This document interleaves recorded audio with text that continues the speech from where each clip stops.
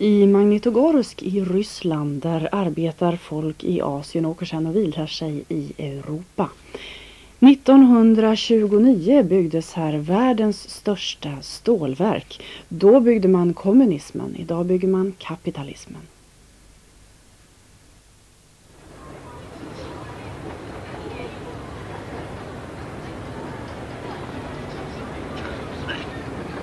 Ryssland 1995. Vad är det som händer? Hur ska det gå? Och hur kunde det bli på det här viset? Det är många frågor som oroar Europa och omvärlden om utvecklingen i Ryssland. En del av svaren på de här frågorna kan ni kanske få i Utbildningsradions distanskurs Ryssland ett annat Europa. Och den distanskursen börjar i oktober. Ni kan följa den i studiecirklar, i folkhögskolor, i gymnasier. Men ni kan också faktiskt få fem högskolepoäng om ni följer den kursen som består av radioprogram, tv-program och en hel del kurslitteratur och som alltså startar i höst. Men en del av tv-programmen visar ju redan i vinter och ikväll gäller det Stalins stålverk Magnitogorsk. Sveriges Television har ett fantastiskt bildarkiv och där finns hundratals fotografier från Rysslands och Sovjetunionens historia. Där finns också ett konvolut med eh, bilder ifrån just Magnitogorsk. Och dit for Göran Adolfsson för att göra ett reportage. Varför just Magnitogorsk? Ja, Magnitogorsk det är Sovjetunionens historia i miniatyr kan man säga. Det började byggas 1929 under då entusiasmen fortfarande fanns kvar. Och ja, det var igång när Sovjetunionen föll också. Och det betyder att även där finns samma problem som i Ryssland övrigt, stagnation? Ja, här har vi samma problem naturligtvis. Det, det, är den stagnation som har drabbat Ryssland nu och som man försöker få bukt med genom att eh, få in utländska intressenter. Eh, utländskt kapital och inte bara utländsk teknik som man hade på 1929 då man byggde det hela. Var ligger det? Det ligger mitt emellan Asien och Europa. Man kan säga att alltså, den ena delen, fabriken, ligger i Asien på den asiatiska sidan av Uralfloden och den andra, där, staden där folk bor i allmänhet, den ligger på den europeiska sidan. Uralfloden flyter då utifrån Uralbergen som man traditionellt sett säger är gränsen mellan. Här, var, här fanns järnbruk tidigare? Ja, här fanns alltså ett gammalt järnbruksområde. Det fanns redan på 1600-talet och särskilt på 1700-talet stora Eh, mycket stora eh, järnhanteringsbygder kan man säga här. Någon sorts bergslag. Här fanns eh, eh, kan man säga, jag tror nog faktiskt att det var Europas största industri och, eller åtminstone järnhanteringsområde. Man fick ut så mycket eh, järn härifrån så man kunde konkurrera med svenskarna och försöka dumpa deras priser. Tsar Peter till exempel förde, försökte föra handelskrig mot svenskarna och, och alltså för att förstöra den svenska järnindustrin. Det är väl lika viktigt att förstå den historien som att förstå slaget vid Poltava? Absolut, absolut. Det här var kanske till och med ännu farligare. Fast han lyckades inte med det här Peter. Men det var träkolsframställt järn? Ja, just, det var det som var problemet för det här området. Det var träkol och när man gick över till att, att göra järn med, med hjälp av stenkol, ja då föll hela grunden för det här bort.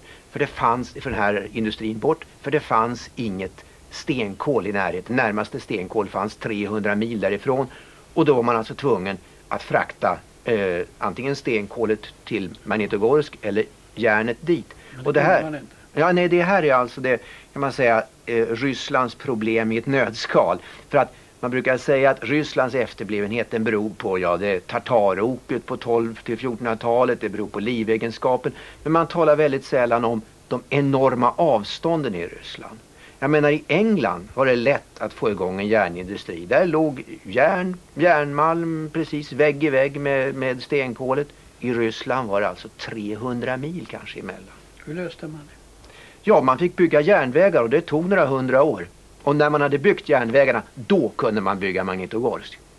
Och det gjorde man med eh, en väldig insats av arbetskraft. Även slavkraft skulle man kunna säga. Det väckte en enorm internationell uppmärksamhet också. Eh, på Dagens Nyheters första sida måndagen den 17 oktober 1932 till exempel så är rubriken Världens näst största järnverk, Magnitogorsk, klart på rekordtid.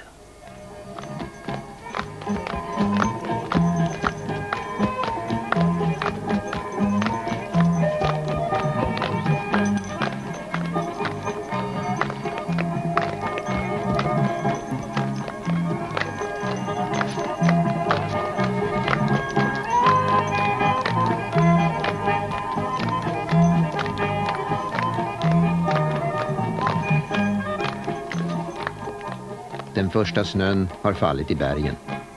Människorna i byarna firar en traditionell höstfest.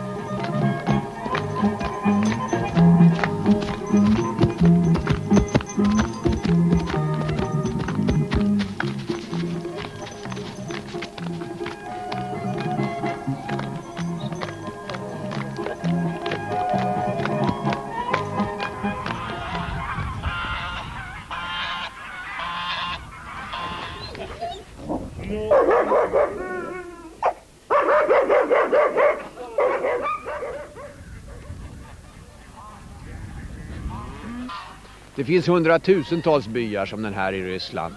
Det är en bygata, en lerig bygata och så hus på båda sidor och så en liten jordlott på baksidan. Där åt eh, väster så har vi det europeiska Ryssland och där bakom Uralbergen så ligger Asien med sina stäpper. Vi är alltså i Bashkortostan. Bashkirerna, det var en turkisk stam som drev omkring som nomader på stäpperna i Asien och sökte bete till sina kreatur. Till slut, för några hundra år sedan, så slog den sig ner här, på gränsen mellan Asien och Europa.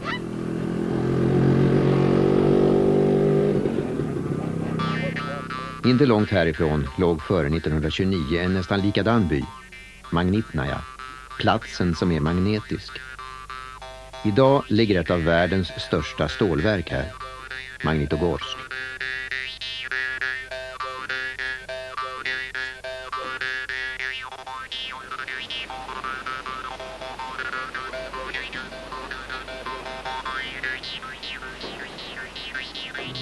Våren 1929 antog Sovjetunionen den första femårsplanen. Stalin var övertygad om att kapitaliststaterna bara väntade på det rätta tillfället att anfalla och krossa den nya Sovjetunionen. Den tanken blev avgörande för imperiets framtid. För att försvara sig satsade Sovjetunionen på tung industri. Konsumtionsvaror och livsmedel sattes på undantag. Redan i januari 1929 började man bygga stålverket i Magnitogorsk.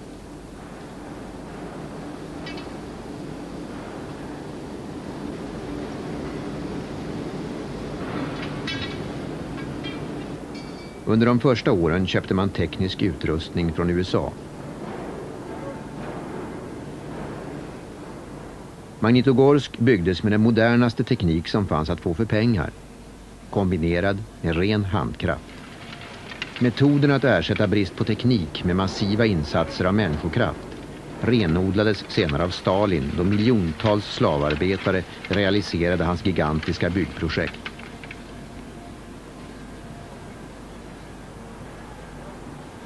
Ur ingenting skapades här världens största stålverk. En symbol för Sovjetunionens satsning på tung industri. Då arbetade här amerikanska och senare tyska specialister.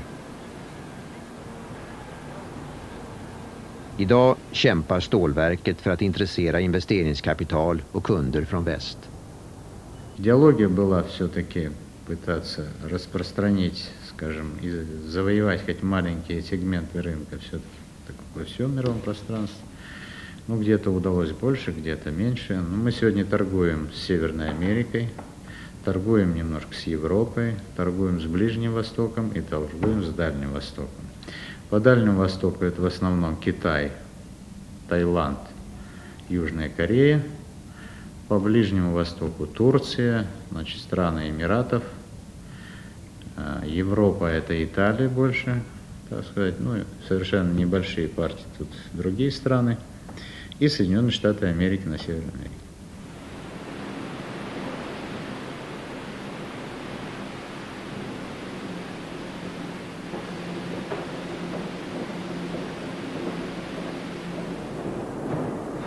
Förr talades det bara om kvantiteter, si och så många miljoner ton stål. Idag satsar man på kvalitet för att möta kraven från kräsna köpare i den industrialiserade världen utanför Ryssland. Det nya stålverket Stål 2 med sina nya varm- och kallvalsverk är en investering som måste göras.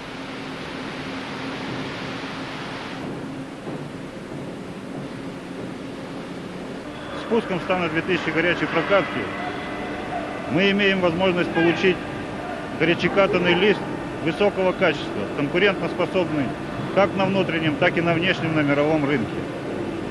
Строительство стана 2000 горячей прокатки – это одна из частей нового металлургического комплекса на Магнитогорском медкомбинате. Это кислородно-конвертерный цех, стан горячей прокатки, стан холодной прокатки. De nya syrekonvertrarna ersätter de gamla martängavdelningarna.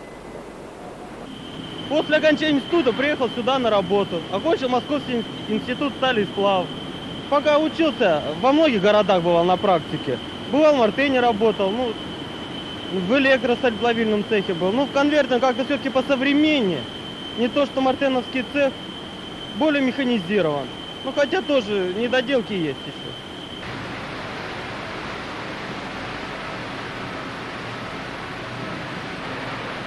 När Anatolij Starikov blev vd för fyra år sedan var en av hans första åtgärder att omplacera alla underdirektörer. Тот груз психологический, который мы восприняли в историческом своем развитии, он неумолимо оказал, оказал воздействие на наше мышление и так далее, и так далее. И, скажем, руководители более возра... высокого возраста или глубокого возраста, конечно, им было сложнее. Понимание, восприятие и так далее. Fortfarande vakar Lenin över huvudingången. Men kombinatet med hans namn har nu blivit aktiebolag.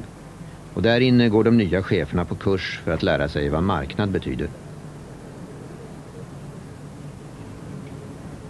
Скажем, оно имело две цели, две задачи. То есть э, общий дать понимание рынка, да, общеобразовательный такой уровень для широких э, слоев руководящего состава. Так? И конкретные специфические знания, значит, тем лицам, которые занимаются экономикой, финансами, значит, э, юриспруденцией, то есть хозяйственным правом и так далее. Поэтому время же другого же нет у нас, потому что и других людей нет. Мы же не могли прийти, тут набрать с института и прочее, это нереально было. Поэтому выход был один – учить своих людей. Учить, ну, скажем, целенаправленно, с помощью власти, заставляя, вообще говоря, и понуждая и так далее. Потому это была жизненная необходимость, осуществлялась она в двух направлениях. Первое – общеобразовательное – и второе целенаправленное, på, скажем, på направлению. Nu bygger man kapitalismen. Då, 1929, byggde man kommunismen. De som byggde Magnitogorsk kom från hela Sovjetunionen. De allra flesta hade drivits hit av idealitet och entusiasm blandad med hunger och löften om arbete och en dräglig framtid.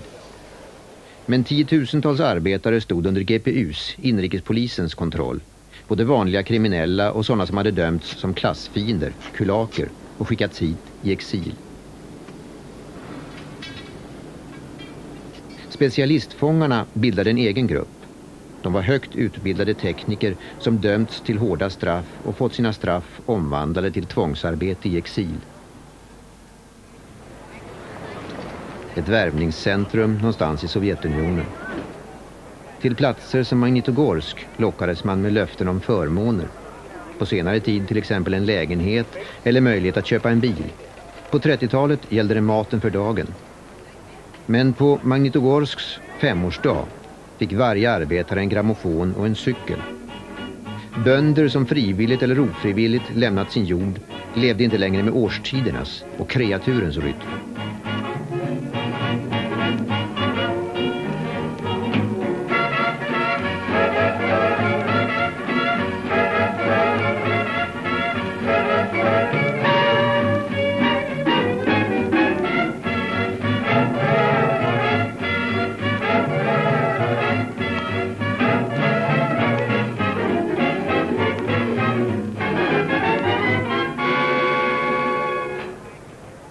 September 1932 kom en ung amerikan, John Scott, hit.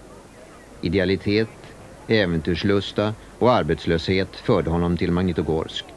Han lämnade depressionens USA bakom sig för ett arbete som svetsare på det stora stålverksbygget. Kanske är han ett av de hundratusentals svartvita ansiktena i det här programmet.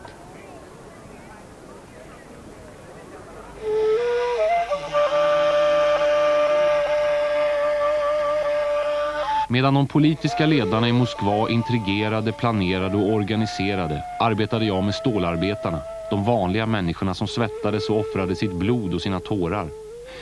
I fem år arbetade jag i Magnitogorsk. Jag såg en fantastisk fabrik byggas. Jag såg mycket svett och blod, många tårar.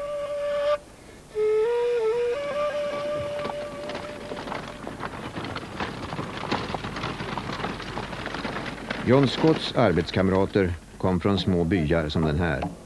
De var vana vid tungt kroppsarbete, men mycket få hade någon yrkesutbildning. Det var unga människor. 1931 var hälften av arbetarna under 24 år gamla.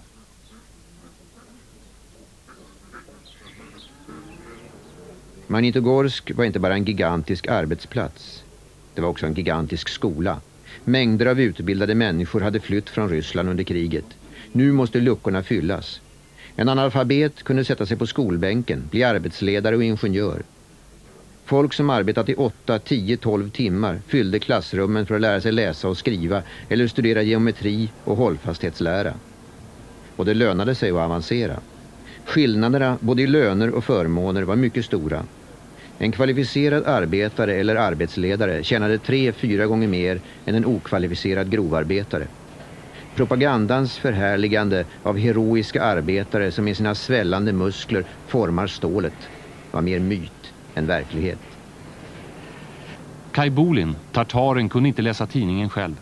Han hade aldrig sett en trappa, ett lokomotiv eller elektriskt ljus när han kom till Magnitogorsk för ett år sedan. Nu byggde Shaimat Kabulin en masugn som var större än någon av dem som fanns i Europa. Han hade lärt sig att läsa och han gick på aftonskola för att lära sig bli elektriker.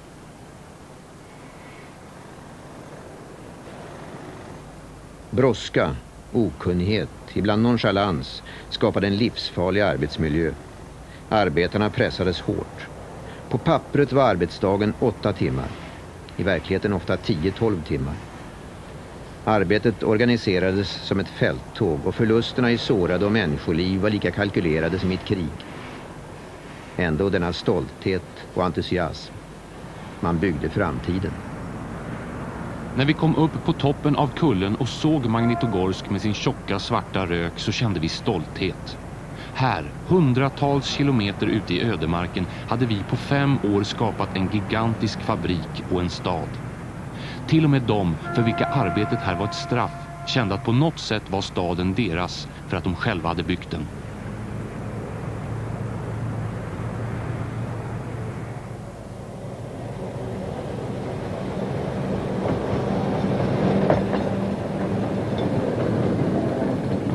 Bron som förbinder två världsdelar.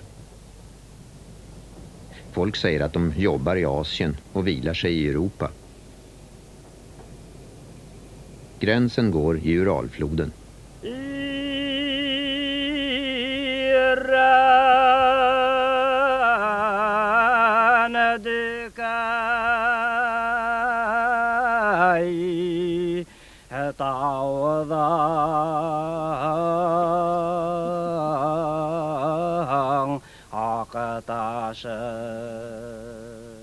Det är mycket långt till närmaste hav.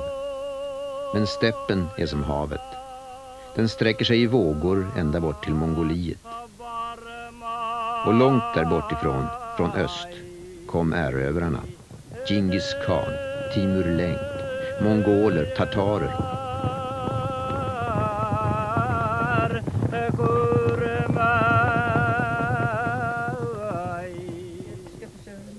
Bashkirerna som bodde här fick ta den första stöten när barbarerna trängde in i Europa. 600 år senare arbetade folk från hela Ryssland här i stålverket. Urbefolkningen, bashkirerna, var då som nu den tredje största folkgruppen i staden efter ryssar och ukrainare.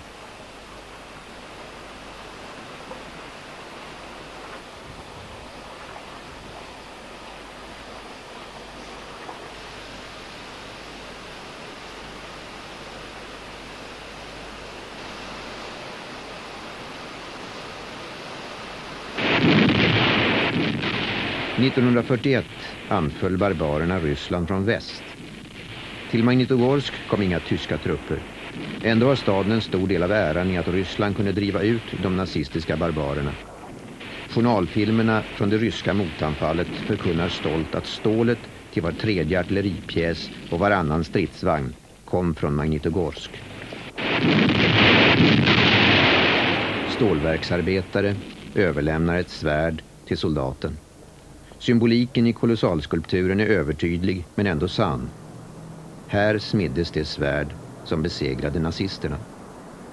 Staden och stålverket har samma namn, Magnitogorsk. Men folk här säger kombinatet. Det ordet har klang av allmakt, ungefär som ordet bruket i Sverige. Precis som i de gamla svenska bruksorterna har kombinatet alltid ägt och kontrollerat allt. Butiker, bostäder, skolor, sjukhus, kultur och fritid.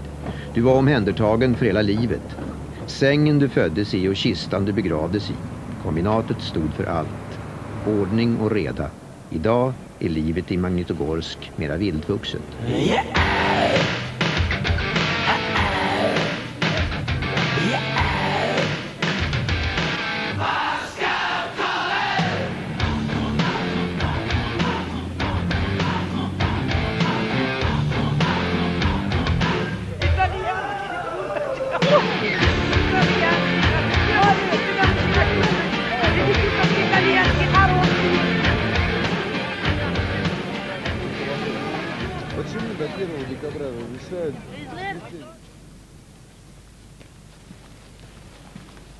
Fortfarande producerar kombinatet varor som inte har mycket med stål att göra. Det är företag av alla slag, från hopplöst tomma, nedslitna butiker till toppmoderna industrianläggningar där man gjort mycket stora investeringar i oftast utländsk teknik. Här erbjuds nu de anställda att ta över verksamheten. På så sätt försöker man också lösa problemet med alla anställda som inte har någon meningsfull sysselsättning. Men kombinatet behåller 51 procent av aktierna och därmed kontrollen.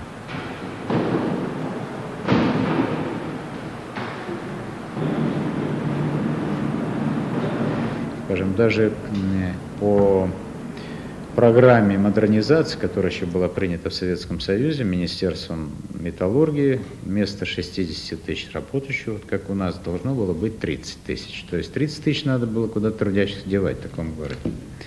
Но когда начался рынок, 91 год, август, когда пришлось вот сходу, вообще говоря, думать и принимать решения, э, скажем, я и мои товарищи, там заместители, с кем я работаю, значит, стал перед проблемой. Когда мы начнем сокращать наших людей здесь, куда мы их будем устраивать? Где они будут работать?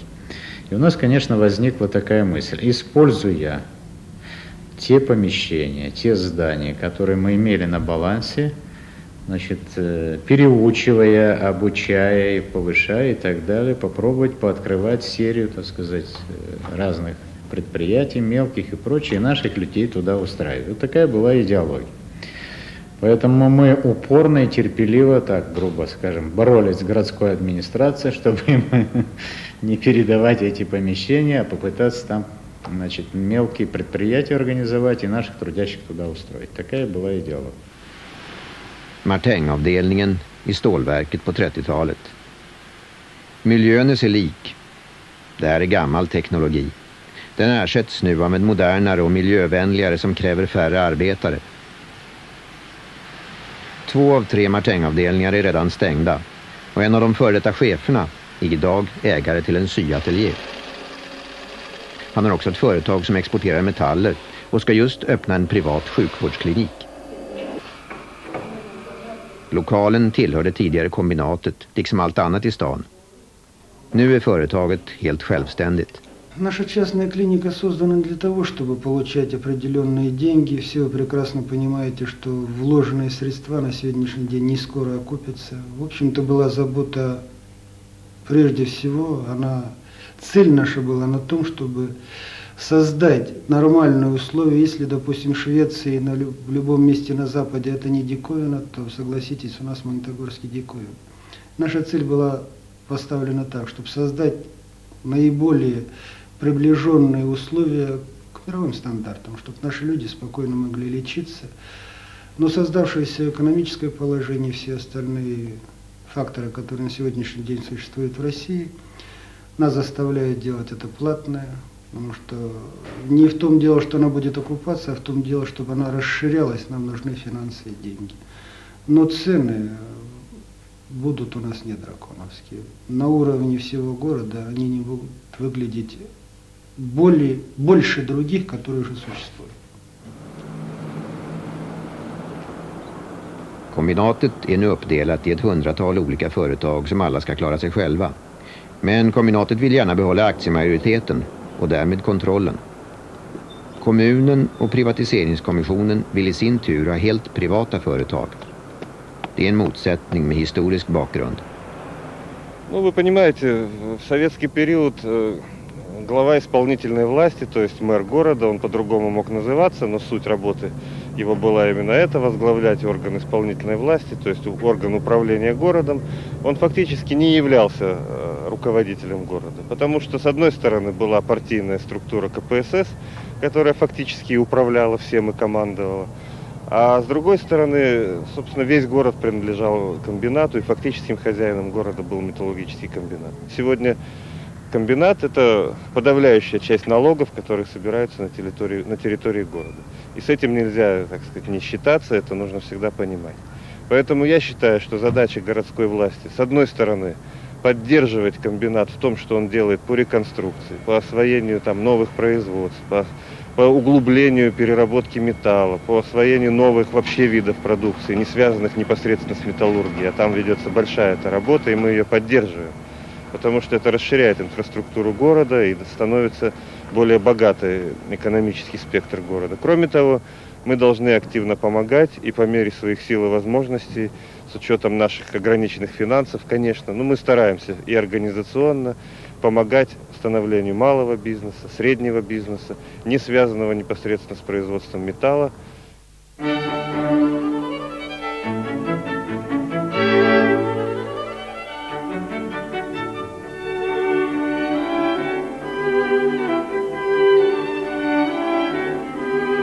Det första företaget som privatiserades enligt kombinatets modell var avdelningen för tillverkning av emaljerade kärl, kastruller, skålar och så vidare.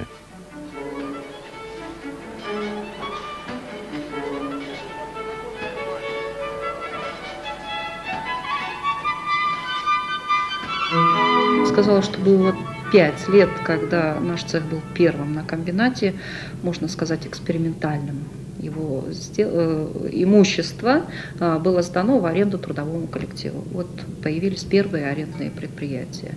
По идее, самостоятельно, самостоятельно в смысле каком, что мы, э, значит, получаем ту зарплату и живем на те деньги, которые получаем только от реализации собственной продукции и никаких э, дотаций, суд, кредитов от комбината не получим. Это заставило нас тогда делать продукцию, изменить ее дизайн, работать над качеством, э, потому что другого пути заработать не было. При распаде Советского Союза, всех этих связей. Было очень тяжело, потому что у нас обширный сырьевой рынок, у нас материалы с Украины, с Киргизии, вот сформировать весь этот рынок. Сейчас рынок сырьевых материалов сформировался, э, по идее торговые связи уже установились, мы у себя на предприятии ощущаем подъем. Если, может быть, э, сократилась поставка там, в Киргизию, Таджикистан, Армению, это понятно, но зато появились совершенно интересные, необычные предложения в Германию.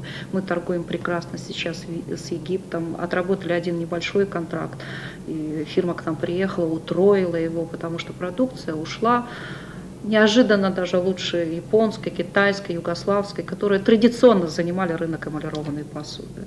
Ну, я считаю это прекрасно.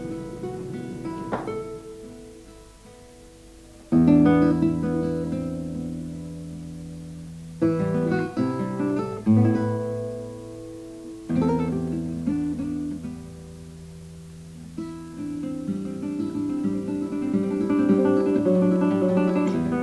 nyligen privatiserad butik. Idag köper man det mesta man kan önska sig i affärerna i Magnitogorsk. Om man har pengar vill säga. Importerade varor kostar ungefär lika mycket som i Sverige. Men löneläget är ett annat. En bankdirektör har idag en lön på cirka 1500 kronor i månaden. Ändå finns det köpare.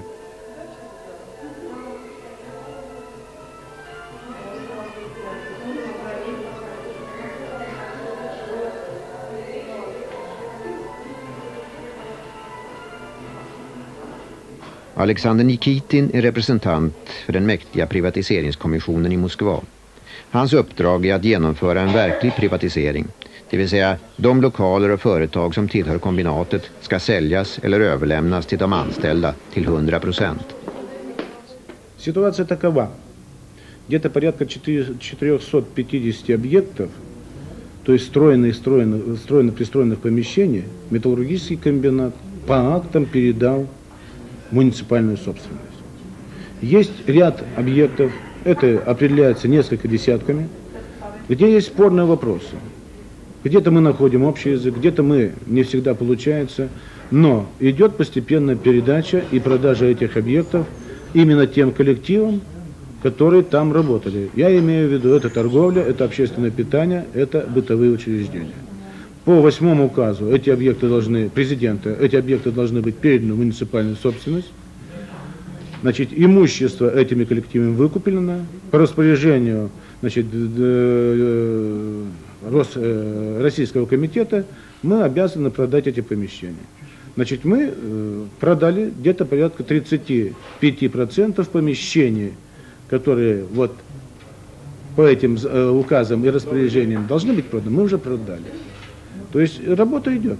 Здравствуйте. Добрый день. Что желаете? Пиво? Покажите, какое у вас пиво.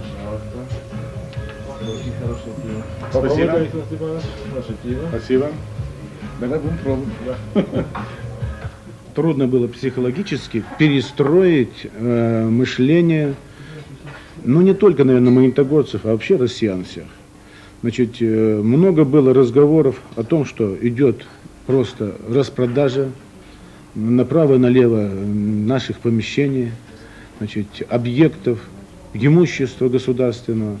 Значит, понадобилось несколько лет, чтобы вот психология магнитогорцев изменилась. В чем вот это наблюдается? Ну, если проехать по Магнитогорску, да вот и сегодня пример, мы сидим в кафе, э, которое было, просто была диетическая столовая, просто была обыкновенная столовая. Конечно, остается желать лучше от таких столовой. И вот сегодня, получив частное, то есть выкупив вот это сначала имущество коллектив, а потом э, помещение, ну, мы видим, что значит, появился хозяин. И внешний облик этого помещения, и внутренний говорит о том, что здесь э, приятно посидеть, побеседовать, поговорить, здесь приятно принять людей. То есть, если посмотреть и проехать по городу, мы увидим, что, э, значит, я как называю, первые этажи Магнитогорска меняет свой облик. Постепенно, но меняет свой облик. И я считаю, что это в лучшую сторону. Хотя много комитету пришлось выслушать э, нелестных слов э, в наш адрес, что мы все это делаем неправильно. Сейчас ситуация меняется, и мы считаем лучше. Нет, я и в то время мог прийти, в то время даже мог прийти. Хороший ресторан, посидеть культурно. Сейчас у нас все есть, но очень все дорого. Но ну, торгуют, и что творится на улицах, а? Вот изменение какое. Вот если в городе появился хозяин путевый, чтобы торговые точки так были бы нормальные, никак не, не, по, не собачьих будках. Нет, ну где-то свои плюсы, где-то минусы. Где-то плюсы, где-то минусы. Вот я об этом говорю. Это все сейчас идет на уровне а, становления. Я ну, думаю, что это будет мое, нормально. Мое есть предприятие, я его занимаюсь, и, конечно, буду смотреть.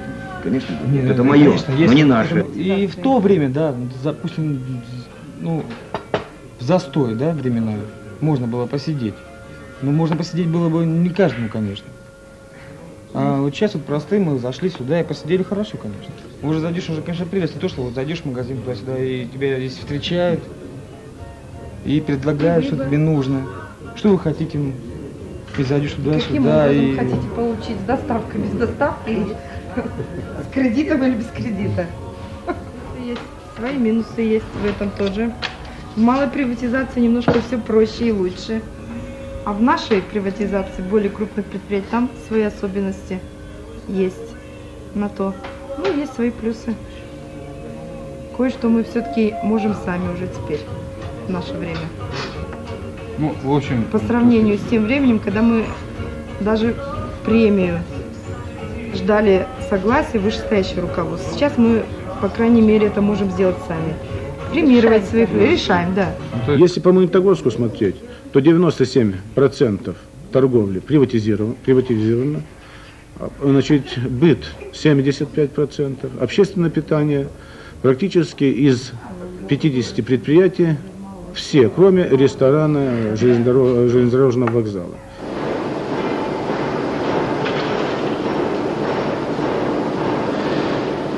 Kombinatet var staden och staden var kombinatet.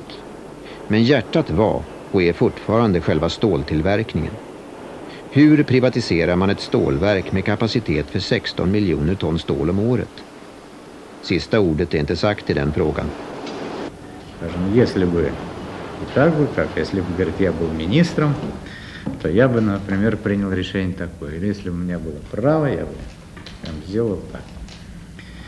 Вот надо было 50%, скажем, как было отдать трудовому коллективу через э, и трудящимся, и гражданам, через ваучеры, может быть, через прямую приватизацию, там, льготную, не льготную и так далее. А вот 50% надо было оставить во всех предприятиях на инвестиционные торги.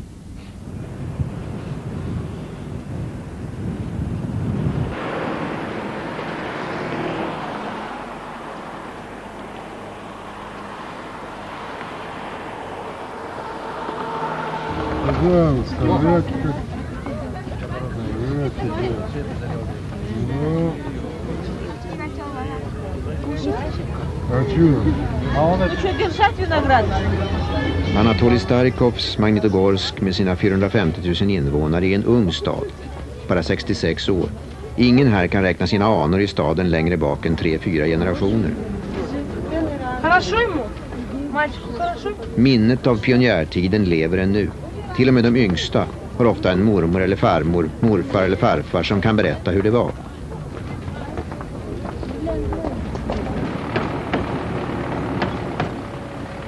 Det här minnesmonumentet har formen av ett stiliserat tält. De första arbetarna som kom hit bodde också i tält. I ett klimat där 30 grader plus är en lika vanlig temperatur på sommaren som 30 grader minus på vinter. Stalinporträttet vakar över tältinvånarna. Stalins order var Varde stålverk. Hur människorna som byggde stålverket skulle få tak över huvudet fick bli en senare fråga. De första tältinvånarna flyttade ganska snart in i provisoriska baracker. Män bodde för sig, kvinnor för sig. Det fanns också baracker för familjer. Många människor i 35-årsåldern och uppåt har fortfarande minnen av baracklivet. Inte förrän i samband med 50-årsjubileet flyttade den sista barackinvånaren ut.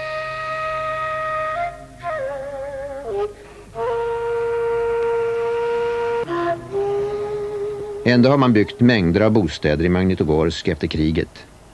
Den nya staden ligger på andra sidan floden på den europeiska sidan och slipper för det mesta röken från fabriken. Dagens herrar sätter sin prägel på staden. 80- och 90-talshus av samma snitt som i resten av Europa. Husen i centrum är byggda på 50-talet av arkitekter från Sankt Petersburg.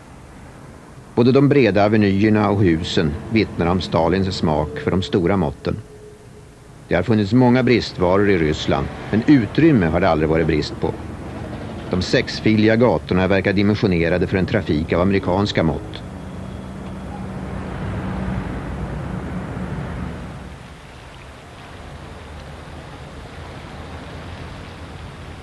Staden sträcker sig 50 kilometer längs Uralfloden. Bara stålverket är 17 kilometer långt.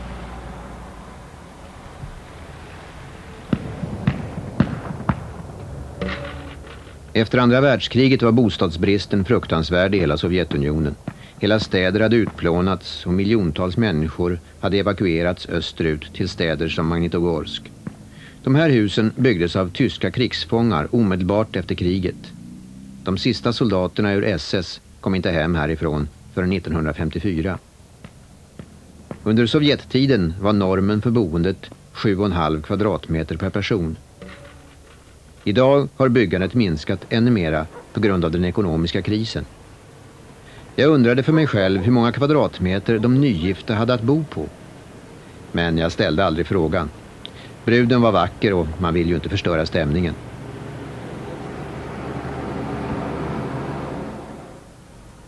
Sovjet har också haft sitt miljonprogram för bostadsbyggandet.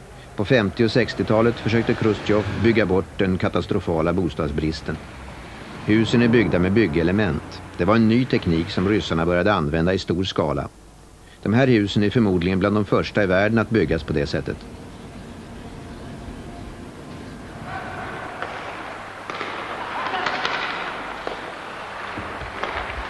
Stadens stolthet, ishockeylaget Metallurg. Magnitogorsk var länge en av Sovjetunionens stängda städer. När den öppnades igen 1974 stod de utländska delegationerna i kö. Och för inte så länge sedan gästspelade ett svenskt ishockeylag.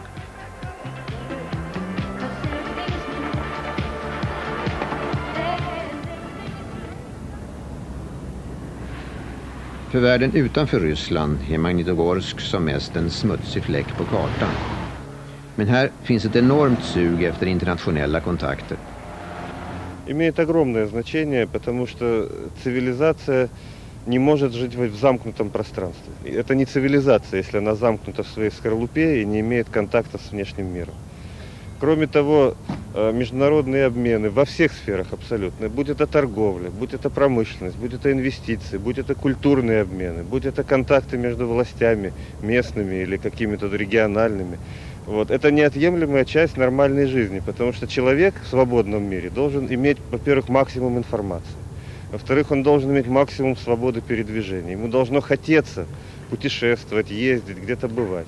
Это одна сторона. Другая сторона – вот я э, бываю, скажем, в других странах, принимаю здесь э, иностранных гостей, постоянно сталкиваюсь с тем, что есть огромный недостаток информации. Объективной, достоверной, качественной информации, особенно вот о той части России, которая почему-то называется глубинкой, там, провинцией и так далее. Но ведь это и есть настоящая Россия. Ведь сегодня настоящая Россия это не Москва и не Петербург. Это столицы наши. Вот. Но настоящая Россия сегодня это как раз Магнитогорск и такие города, как Магнитогорск, где более стабильная социально-политическая обстановка, где есть сегодня уже все возможности для иностранных инвестиций, где есть, э, скажем, привычка и ответственность людей э, держать свое слово, вот, быть обязательными, быть нормальными партнерами.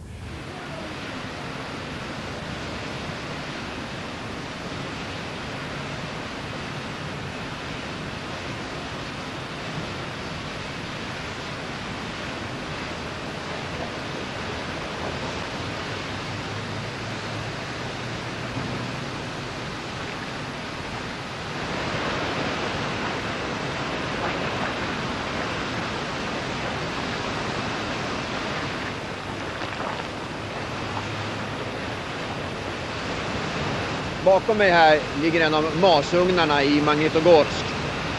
Det här är som att stå på botten av en vulkan. 16 miljoner ton stål per år var man uppe i här som mest. Nu är man nere i 9 miljoner ton. De här bäckarna som rinner här bakom av smält stål, de har funnits i 65 år. Den dag de torkar ut, då, då dör stålverket. Och därmed hela staden i Magnitogorsk. Jag tror inte att det är mycket som har förändrats här på de 65 åren. Man får gå i pension när man är 50 men jag tvivlar på att någon står ut så länge.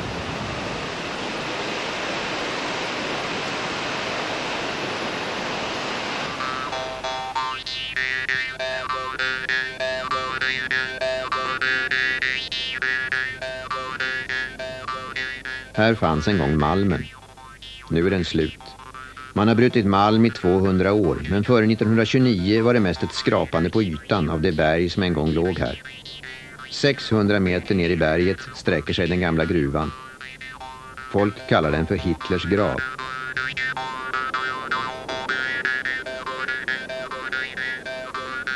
Idén bakom projektet Magnitogorsk var att kombinera malmen här med kolfyndigheterna i Kuznetsk, 3000 kilometer härifrån, via en järnväg.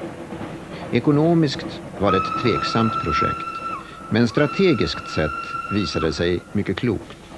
När Hitlers trupper erövrat en stor del av Rysslands industri så låg Magnitogorsk fortfarande utom räckhåll.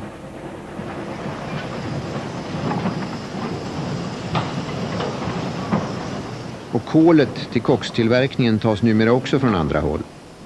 Koksverket är fortfarande kombinatets stolthet. Förutom koks producerar man här mängder av kemikalier som används i olika industrier. Koksproduktionen var också en del av femårsplanen. Företaget skulle uppfylla sin del. Femårsplanen var en lag. Den som kunde göras ansvarig för att den inte uppfylldes begick ett lagbrott och dömdes för till exempel sabotage.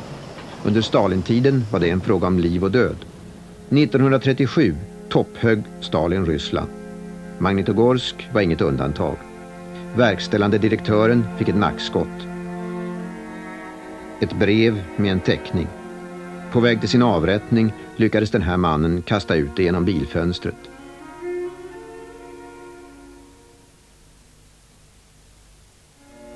Några få bland miljoner som mördades under den stora terrorn.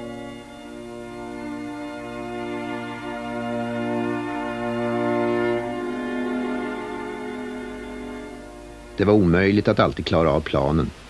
Då gällde det att kunna fiffla och frisera siffror eller skylla på andra. Det här märkte John Scott redan i början av 30-talet. Sevchenko var ansvarig inför sin chef och inför partiet för att planen för konstruktionsarbetet genomfördes. Han betraktade saken utifrån sin egen synvinkel. Då var det inte så viktigt att masugnen blev klar i tid. Det viktiga var att det såg ut som han hade skött sin del av jobbet bra och att han lyckades även om det skedde på kollegornas bekostnad och på bekostnad av hela företagets framgång.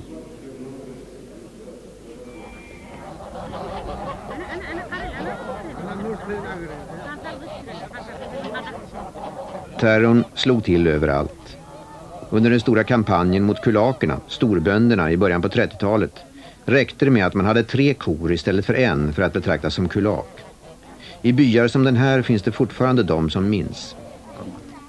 ауылдашылар деген разнораб көче бөлінді шабан болып шабан болып бұл акманшица мен шакманшабын біраз қарадым вот апай тігі вакытын айткендегез теге сизди раскулачып еткенде бүтүн булган әйбердерди алып кетті деп әйттегеҙ. түгелме? Бер әйбер дә ҡалдырмай, өҫтә бер Ҡалдырмағандар ҡат бар. күлмәк менән. Әйе, без э, алып киткәндәр. Ала- Аларҙы алып киткәндәрме, или яндырғандармы? Бер дә белмәйбез ул хәтта. Кан- Мужут улар хаттылар дип баралар.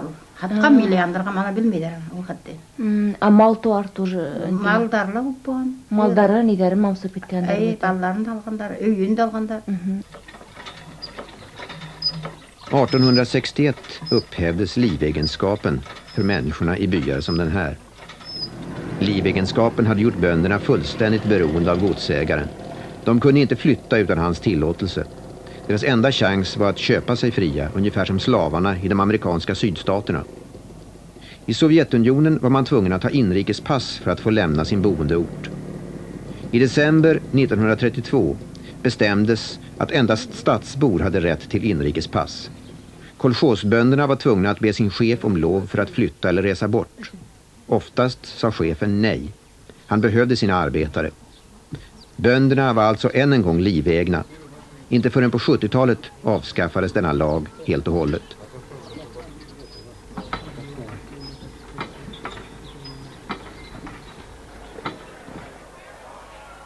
Från och med 1937 blev det livsfarligt att överhuvudtaget ha kontakt med utlänningar. De tyska och amerikanska specialisterna hade redan lämnat Magnitogorsk och John Scott, som ändå var en vanlig arbetare, fick inte längre komma in på fabriksområdet. Han åkte hem till USA tillsammans med sin ryska hustru Marsha. Så stängdes staden för utlänningar. Den skulle inte öppnas igen förrän 1974. Efter den stora terrorn kom det stora kriget. Inför de anfallande tyskarna satte ryssarna hjul på sina fabriker och skickade dem i säkerhet öster om Ural. 38 fabriker monterades upp igen här i Magnitogorsk. På en månad ställde man om stålverket till krigsproduktion.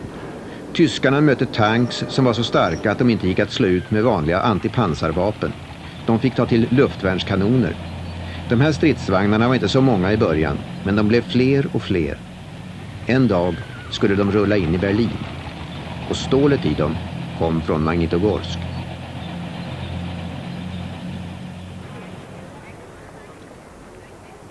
Männen skickades till fronten och kvinnorna ersatte dem, precis som i USA och Storbritannien.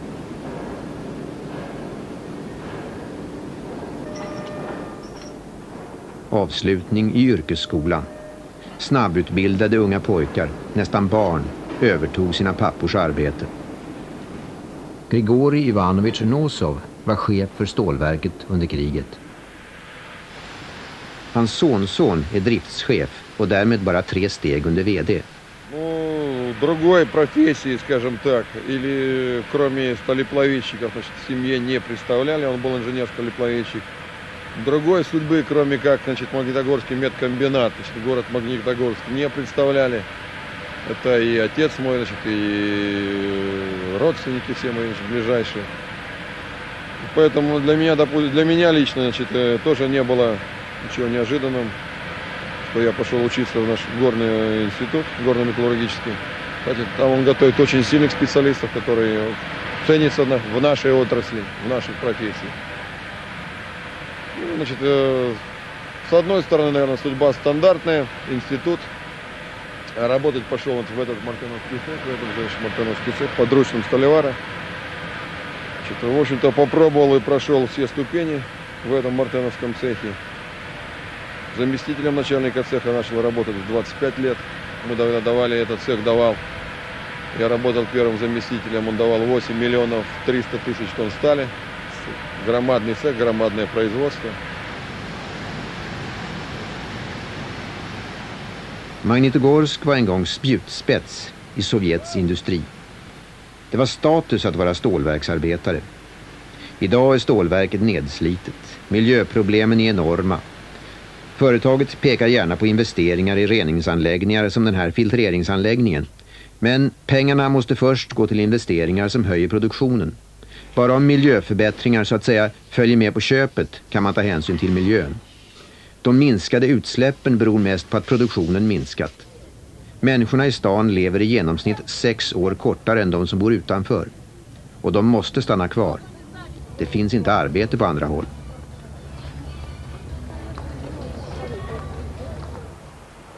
Ändå finns det folk som frivilligt söker sig hit. Anne Seilé är skådespelerska. Hon kommer från Frankrike men spelar här på ryska.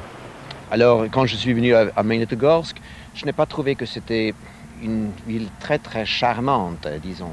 Mais évidemment, vous, vous, vous, voyez des choses que je ne vois pas ici à Magnitogorsk. Euh, ce que vous ne voyez pas, peut-être non plus vous n'avez pas le temps de voir, c'est toutes ces différentes euh, personnalités, euh, surtout à Magnitogorsk, qui est une ville jeune, où il n'y a pas de, j'arrive même pas à trouver le mot en français, de, de terroir, enfin le terroir. C'est une ville de 70 ans, euh, donc personne ne peut dire que ici, mes ancêtres ont construit cette ville. Les ancêtres, ça remonte aux grands-parents, pas plus, qui eux-mêmes arrivés, euh, ils avaient 20 ans. Euh, et ça donne à la ville une espèce comme ça d'ouverture sur, euh, sur l'étranger, enfin avec un grand, sur tous les, étrangers qui viennent de Russie même, parce que cette ville est, une ville très très jeune et tous les habitants, les habitants ne sont pas enracinés.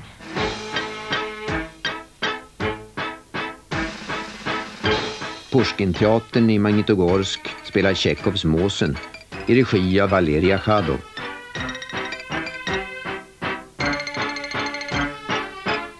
Когда я увидел зрителя, который переодевается, снимает там сапоги, надевает вечерние туфли, приходит наряженные, как на свадьбу, как, как ну, самое такое, ну, дорогое, э, к дорогим гостям, к дорогим друзьям. Э, и когда зрители стоя приветствуют, даже порой не очень удачный спектакль. То есть здесь есть, здесь есть на кого работать. Здесь есть на кого работать.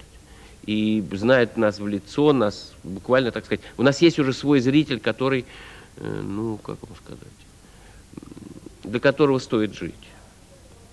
Здесь вообще в городе высокий интеллектуальный потенциал, как мне кажется. И требуется несколько таких точек мощных, э, культурных, я не знаю, там, которые бы ну, просто возбудили это, чтобы еще в детях это не пропало. Потому что то поколение, оно заряжено хорошо на интеллект. Они читали книг много и все. Сейчас, конечно, все сложнее. Э, и американская культура нас очень сильно задавила через кино. Но вот нужны вот эти точки опоры для будущего поколения. Stadens två maktcentra. Vad har man här för drömmar om framtiden? Город должен обеспечить людям комфорт. Нормальный человеческий комфорт, чтобы не было катаклизмов, чтобы не было каких-то тут, я не знаю, беспорядков, чтобы не было э, какой-то войны, боже упаси. Так? Чтобы был достаток в каждом доме, чтобы человек имел возможность заработать столько, сколько он хочет заработать. Чтобы он имел возможность заработанное потратить туда, куда он хочет потратить. Чтобы он имел э, состояние здоровья свое, своих детей и внуков, то, которое принадлежит человеку иметь. Чтобы не было проблемы с рождения и до смерти, это вот болезни, болезни и болезни, как у нас сегодня. Чтобы это был здоровый во всех отношениях город. Здоровый физически, здоровый нравственно, здоровый в смысле культурном. Чтобы в нем было приятно жить одним. Ну, для проведения в жизнь идеологии да, нового города и так далее есть эталон для меня сегодня, то есть или рубеж первый, к которому надо подойти, э, и как пример возможности осуществления это, это Питтсбург, Соединенных Штатов Америки, о котором много писали. Значит, мы организовывали туда поездки рабочих делегаций, администрации города, ну и наш, скажем, там сотрудники ездили. То есть город, который оказался примерно в 30-х годах в том же положении, как Магнитка. Загрязненный, с кошмарным состоянием инфраструктуры и так далее, и так далее, который начал погибать. И который сегодня является промышленным городом, но цветущим для проживания. Вот, скажем, пример, который дает нам надежды, который дает уверенность, что это осуществимо. Это надо сделать.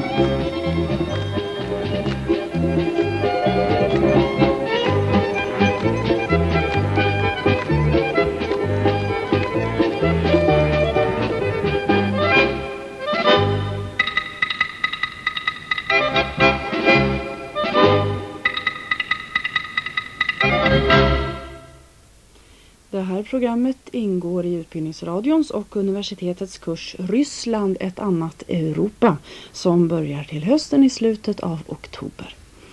I kursen ingår också den här nyproducerade boken om Rysslands historia och samhälle under tusen år. Den kommer ut i början av september. Information om kursen får man på Utbildningsradions kundtjänst. Telefonnummer 08 784 4240.